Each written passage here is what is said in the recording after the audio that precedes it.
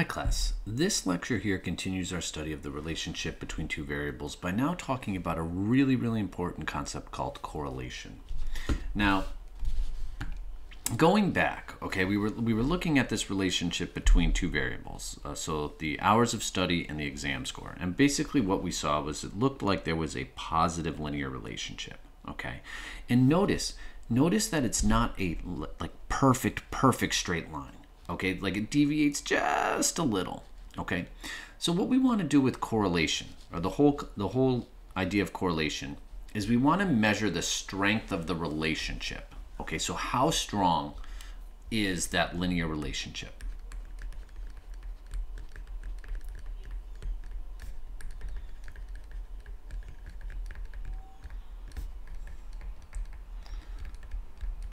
Okay.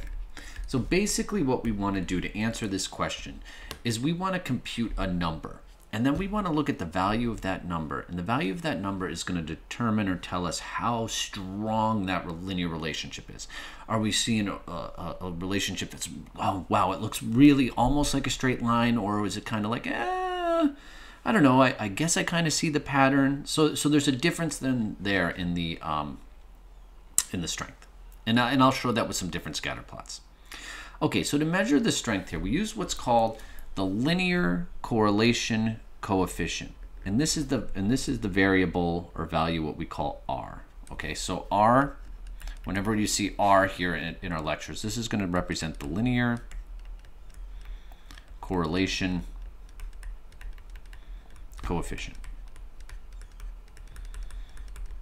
Okay, and I'm going to give you the formula for it on the next slide.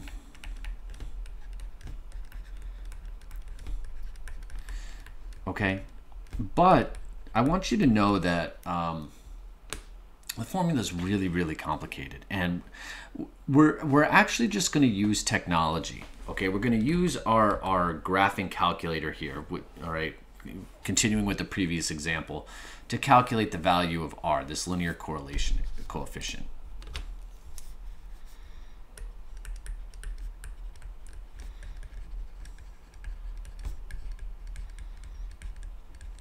But we use the TI calculator uh, to calculate the value of R.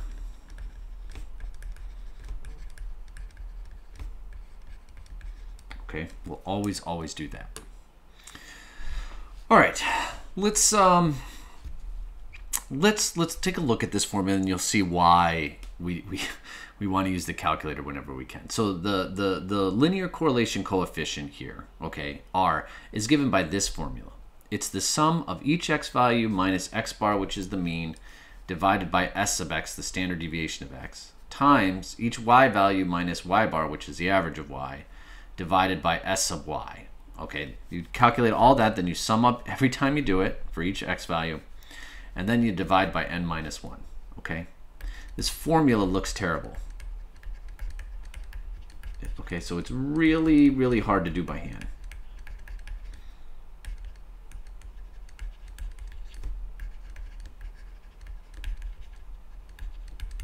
Okay. So, so basically what we're going to do is we're, we're going to st step away from, you know, I just want you to know that there's a formula going on behind this. But then I'm going to show you how to use your, your graphing calculator to do it. And, you know, we're in this, in this specific lecture, we're only going to calculate, uh, you know, R for the example that we're working through.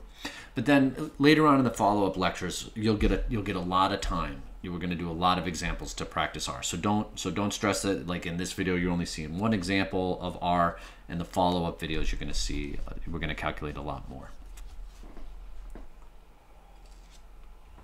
Okay, so before we get and show you how to do the um, uh, the calculator for it, I want to talk about the properties of the linear correlation coefficient. So this value, this linear correlation coefficient R, it's always between negative 1 and 1 inclusive. Okay, so when we see our calculator, you'll never get a value of r that's like negative 5 or a positive value like 15. No, no, no.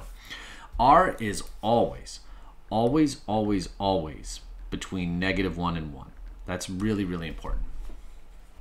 So if r is equal to plus 1, then a perfect positive linear relation exists between the variables. So what that means, if r is equal to exactly plus 1, you're going to see a perfect perfect straight positive line in your data, okay? Which isn't something you would see often in the real world. Like if you go back, like even looking at our example here, it's definitely not a perfect straight line. Like it, uh, looks like it's off, just deviates just a little, okay? So if r comes back to being negative 1, then a perfect negative linear relationship exists between the two variables. So that would look something like this. Literally like a perfect straight line going down. Okay? So if r is closer to positive 1, all right, like values like 0 0.9, 0.99, okay, things like that. The stronger is the the stronger is the evidence of a positive association between the two variables.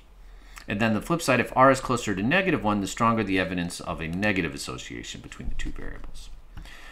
So if you look here, going back at our example here, this definitely, r, it looks like r should, uh, r should be really close to positive 1, right? Because there's, it looks almost like a perfect straight line, but it's off just, just a little bit, okay? So r should be close to positive 1 here. All right, if r is close to zero, okay, then what that means is there's little or no evidence exists of a linear, linear relation, okay, between the two variables. So this is important. r close to zero does not imply no relationship. It just says, hey, you know what, there's no linear relationship. And the linear correlation coefficient R is a unitless measure of association. So the, the units of measures of X and Y plays no role in the interpretation of R. So like hours of study and exam scores, those units of measures, meh, you know, don't, don't matter. R just comes back as just straight up as a number. All right, so you're going to be close. It's always going to be between negative 1 and 1. Closer to 1 means you're positive a relationship. Closer to negative 1 means you're negative relationship. All right, so let me show you some uh, different R values in scatter plots here. Okay, so here's the perfect positive linear relationship. Okay, this is that R is equal to 1 right here. You can see like perfect straight line. In here you can see R is equal to negative 1. You can see that it's literally a perfect straight line sloping down. Okay, now look at these two, two scatter plots right here. Okay, this one and this one here. You notice here, like you can really, really, really, really see that positive trend, okay? Like, just like this. So this would be an example of an R value is equal to 0 0.9, okay? Where you can for sure see the, see the upward trend. Now look here, okay? Data seems much, much, much more spread out. But there is still, there is still this upward trend to the data. When r is r is a number greater than 0.8, something like this, 0.9, okay, you, you see this strong, strong positive linear relationship. All right, when r is between like 0.4 to 0.79, something like that, okay, then you're seeing this moderate, moderate positive linear relationship. Like there's still there's still an upward trend of the data. It's just not as strong as this one here. The same with the negative side right? Like this is a very, very, very discernible negative pattern down. This would be something like r is roughly equal to negative 0.9. And again, here the data is much more spread out, but there is still this downward pattern, but the data is much more spread out. So r would be equal to negative 0.4. Okay.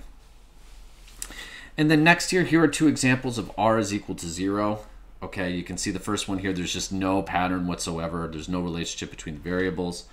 But then here, there's definitely a pattern. Okay, it looks like a quadratic pattern, but there's no linear relationship. So R won't pick up this relationship. It'll say, ah, it's zero. Okay, but in reality, there is some relationship, just non-linear, non-linear. Okay, so look, don't do this by hand, okay? What you need to do is, um, we're gonna use our graphing calculator here. And what we need to do is we need to turn on a setting in our calculator called diagnostic on to do this, okay? So I have, I have how you do this in the slides here. But what I want to show you, you know, follow along with me as I do this, okay? So hopefully what you should still have in your calculator is you should still have the data, okay, from the previous you know, from our, the example that we're working through. okay? And so to, to get r, okay, so what we're going to do here is now for our example, we're going to find the value of r and comment on its value. Okay, so you got to make sure you have all these values plugged into your calculator, okay? Then what you're going to do is there's this button down here called catalog, catalog. You're going to go second function catalog. And you and you're going to be scrolling down. You're looking for something called diagnostic on, okay? So you literally can, and it's going to take you a while to go through and scroll to get all the way down to the D's, okay?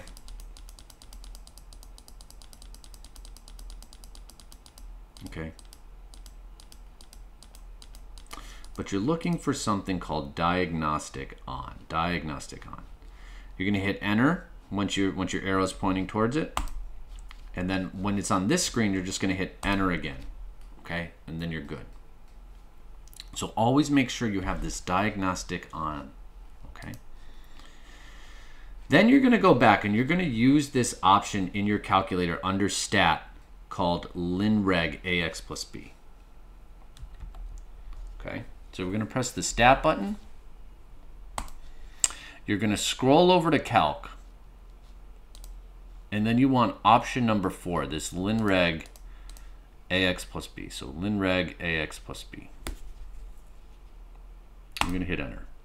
Now, if you have a TI-83, you're just going to hit enter again. Just go doo doo doo. It's just going to say linreg ax plus b, so just hit enter again. Here, you have to scroll down to calculate, and you should see something like this, okay? you see this y is equal to ax plus b and then these values a and b. We're gonna we're gonna work with those later on. So just leave, ignore those for now. That's gonna come up in the next lecture. R squared we're not gonna work with. R squared is what's called the coefficient of determination. Um, basically, just real quickly, it, it just explains how much of the variation in the y value can be explained by the variation in the uh, x value. So it's roughly 99, so it's 0.99 if I round it. So it's what it's saying here is to go from a 50 to a 54, that variation of 4 on your exam score, 99% of it's explained by the one additional hour.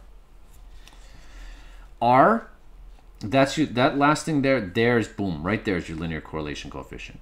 So it's 0, I'm always going to go out four decimal places for these R values. R is equal to 0.9943. Okay.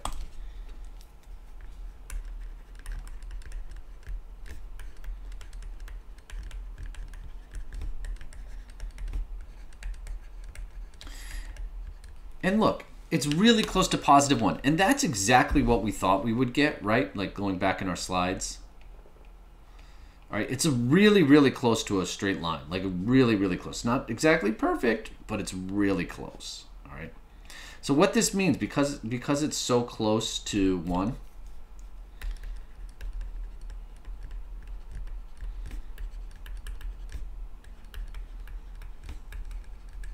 What this means is there is strong evidence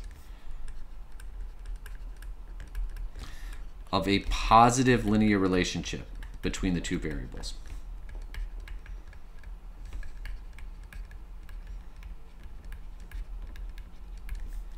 Between the two variables.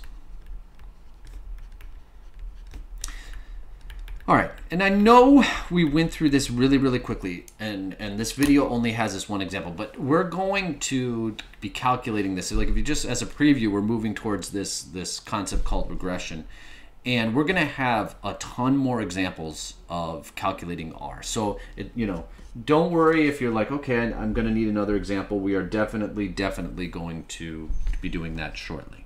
And I'll follow this up as we move into our, our next topic here.